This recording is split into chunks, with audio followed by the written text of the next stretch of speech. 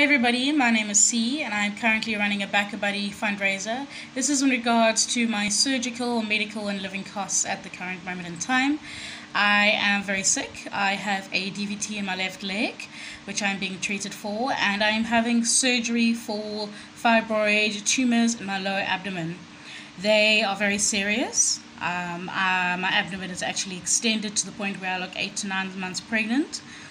I cannot work and have not been able to work for the last eight, going on nine months, being in and out of hospital all the time.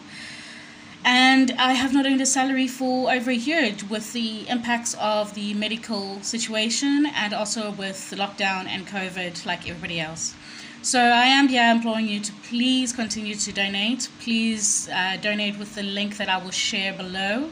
Please share the link with your friends and family. We're almost there, folks, um, but we do have a way to go as I wait for surgery. I am on the emergency surgery list. I am in contact with my surgeons and doctors weekly.